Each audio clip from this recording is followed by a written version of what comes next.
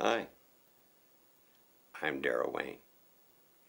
As a character actor, I thought I might need a new look, so I let most of the hair fall out of the top of my head. I also added a lot of character lines. Oh, I know most people are going to think of them as wrinkles, but I really don't mind because instead of thinking of myself as the old Darrel Wayne, I consider myself to be the new Darrel.